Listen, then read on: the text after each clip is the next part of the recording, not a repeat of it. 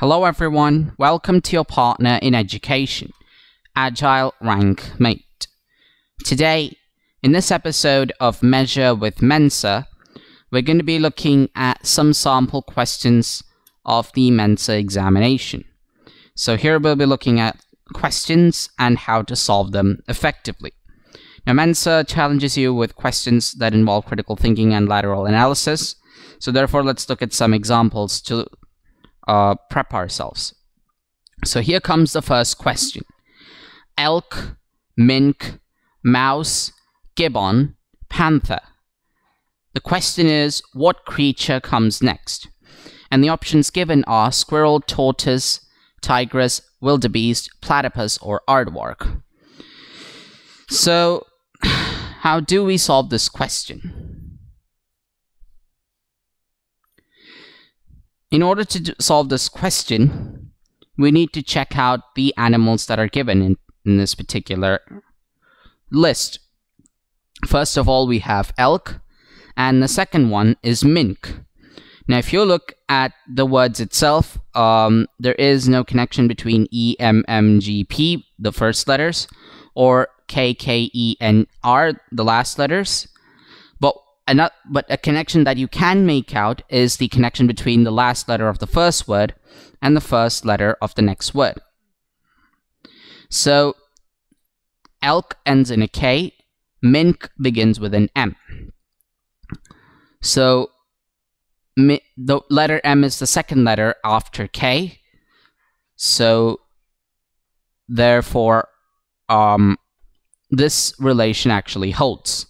Now let's look at the next. Uh, let's look at the second and third words. The second word ends in a K again, so it has to start with an M again. So plus two. Now let's look at mouse and gibbon. Now mouse ends in an E. The next letter is F, and the letter after that is G. So therefore, the plus 2 rule actually holds. Similarly, if you were looking at the um, let the words gibbon and panther, gibbon ends in an N, and uh, the next letter is O, and the letter after that is P. So now we have a working relation. Now, since panther ends in R, the next word has to begin with T because S follows R and T follows S. So therefore, the animal that comes next has to begin with T. Now there are two options here, tortoise and tigress. Now we need to find out which of these is the actual correct answer. Now we know that the other options are incorrect. Aardvark, platypus, wildebeest, square, all of these are incorrect. However, how do you choose between tortoise and tigress? Well, if you look at the if you look at the list again, you see that there is another factor that determines the words given. So elk has three letters, mink has four letters, mouse has five letters, gibbon has six letters, panther has seven letters. So the next, so since the number of letters in the word are increasing, the next word has to have eight letters. If you look at tigress, one, two, three, four, five, six, seven. It has seven letters. However, in tortoise, you have eight letters. One, two, three, four, five, six, seven, eight. So tortoise has a total of eight letters. So that means the right answer is tortoise. So that concludes the first question. Let's look at another one. January, February, April, July, November, April, blank. We need to find out what comes next here. Now, if you look at uh, um, you know normal uh, letter letter based um, formats, there isn't any. So let's look at the format based on the month itself. Since we have April twice, there, there, this has to be an interesting phenomenon. Now, between January and February, there are zero months. The reason being, Feb comes right after Jan. Now, what about April and February? There is the month of March between April and February, so therefore, there's a gap there. If you look at um, July, then we can see that uh, between April and July there are two months, which are May and June. Now, if you look at November and July, you can see that um, there are three months in between there August, September, and October. Now, finally, between November and April, there are four months. You have December, January, February, and March. So therefore, um, so therefore, the next uh, month that needs to be on this list is the sixth month after April. So five months have to be present between April and this particular month. So if you look at the calendar, after April comes May, then comes June, July, August, September. So those are the five months between April and the month that needs to come on the list. So therefore, the right answer is the month after September, which according to the calendar is October. So October turns out to be the right option, the right answer. Now let's look at another question. This one has a letter series on it. We need to find out which letters should appear in the fourth square. So you have a set of four squares. Each square is further subdivided into four parts. And we have letters in the first three squares. We need to find out how the letters should appear in the fourth square. Now at first glance you have A, C, E, G, B, E, H, K, C, G, K, O, and they are not exactly related. But here's an idea to better visualize what's going on. So we have A, C, E, G, B, E, H, K. I mean, yeah. And then C, G, O. I mean, C, G, K, O. And we have the last set to be filled. Now, it's way easier to work out the um, the letters that need to be filled here while they're written out instead of using the square themselves. So if you look at the top uh, left letter, for the first square, it's A. For the second square, it's B. And for the third square, it is C. So as you can see, it follows the alphabet. The consecutive letters are put in on the top left corner. So therefore, the next letter would be D.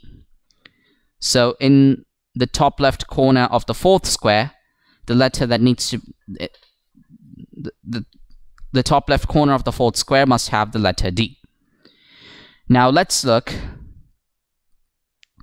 at the top right corner of the four squares. Now it begins with C, then we've got E, and in the third square we have G. We need to check out what comes in the final square. So um, E is the second letter after C. Similarly, G is the second letter after E. So therefore, the next the, the letter on the top right corner for the fourth square is two letters after is the second letter after G. So G is followed by H, which is then followed by I. So therefore, now let's avoid this particular square and we'll draw a new one with the actual answers in it. So the top left corner is D and the top right corner is I. Next, we have the bottom right corner. Now, in the first square, it's filled by E, in the second, it's filled by H, and in the third, it's filled by K. So what fills the fourth, the fourth square's top, bottom right corner? If you look at the letters themselves, you can see that H is the third letter from E. Similarly, K is the third letter from H. So the next letter that needs to come um, on that needs to come on the bottom right corner of the fourth square has to be the third letter after K. So in the alphabet, uh, K is followed by L, L is followed by M, and um, the next letter would be N. So the letter N needs to be present here. Needs to be present on the bottom right corner. So now we have the bottom left corner left out. We have G for, for that. We have G on the first square, K on the second square, and O in the third square. The fourth square needs to be filled. Now, if you look at um, how these are arranged, if you look at the relation between G and K, you can see that K is the fourth letter from G. So um, H follows G, I follows H, J follows I, and K follows J. So between G and K, there are three letters in between, so K is the fourth letter from G. Similarly, O is the fourth letter from K. So we have L, M, and N between these two letters. So in order to get, get the, la the, the last letter for the fourth square, we just have to find the fourth letter from the letter O. So after O, we have P, then we have Q, and then we have R. So the, so the fourth letter after O is actually S. So what letters should appear in the fourth square? The right answer is D, I, N, S, if we go on the clockwise order. So therefore, D, I, N, S are the letters that should appear in the fourth square. Now let's look at the final question for the day. We have 7896432 as a number. It is related to another number called 9872346. Similarly, the number 9247183 is related to 4293817. So we are basically um, coding and decoding here. We need to find out what number is related to 8629471 according to the same logic. Now, if we look at the first set, we have 789642 and its counterpart is 9872346. So what had happened? We took the first seven digit number and what we did is we took the first three digits and inverted their positions. So that means 9 goes into 7, 7 goes into 9. Next, we took the fourth digit and pulled it as the last digit. And then the triad of uh, numbers after the fourth digit were inverted again. So, in short, the first triad is inverted here, the last triad is also inverted right after the first triad, and the number in between comes at the end. So this is how we construct, this is how its counterpart was constructed. Now, in order to verify this, we need to prove it for the second set as well. So we have 92478183. Now over here, 924 inverted gives you 429. 817 inverted gives you I mean, 183 inverted gives you 381, and then the middle digit, that's 7, is at the end. So as you can see, using that logic, we found out how the sets of numbers were created. So all of this aside, if we were to find out our answer, all we have to do is use the logic on the number that's given. So we have 862, 9471. So its partner number would be like this. So the first three digits, 8, 6, and 2, are inverted on their positions. So the first goes into the third, the third goes into the first, the second stays where it is. So 862 becomes 268. Next, we have the last triad, that's 471. That is again inverted to form 174.